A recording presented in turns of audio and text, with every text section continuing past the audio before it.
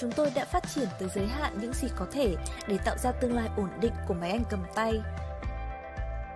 Giới thiệu DJI RS2 Một nền tảng linh hoạt và mạnh mẽ đã được xây dựng để đưa những khung hình của bạn lên một tầm cao mới. RS2 đã vượt xa sự ổn định thông thường, mang tới quyền kiểm soát hoàn toàn trong tầm tay bạn. RS2 vừa đủ nhẹ để bạn có thể mang đi khắp mọi nơi và cũng đủ mạnh để xử lý bất kỳ thiết lập nào. Với cấu trúc sợi carbon tái tạo, RS2 cho phép bạn ghi lại những khung hình một cách linh hoạt, dễ dàng. Chúng tôi cũng đã add thêm rất nhiều các option mở rộng và lắp ráp khác để phục vụ cho vô số những cảnh quay khác nhau.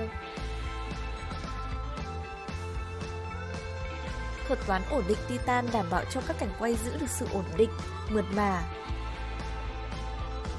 Kích hoạt Super Smooth để điều chỉnh mô đen xoắn và điều khiển động cơ, giúp loại bỏ những rung động dù là nhỏ nhất.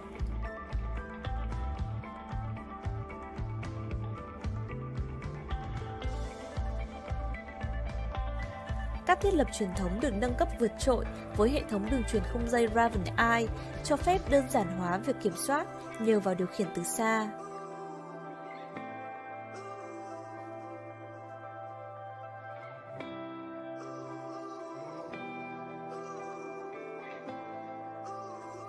Các tính năng cần thiết như Active Track 3.0 nay đã có thể truy cập trực tiếp từ màn hình cảm ứng đa sắc. Hệ thống lấy nét 3D cung cấp cho bạn khả năng tự động lấy nét chính xác ngay cả khi sử dụng lens chỉnh tay. Sử dụng cảm biến TOF, hệ thống này giúp đo khoảng cách giữa camera với đối tượng, điều chỉnh và lấy nét nhanh chóng, hoàn hảo ngay cả trong điều kiện ánh sáng yếu. Từ những cảnh quay solo cho đến những bối cảnh rộng hơn, RS2 vẫn hoàn toàn giúp bạn có được những khung hình ưng ý. DJI RS2 biến những khung hình của bạn thực sự trở thành những thước phim điện ảnh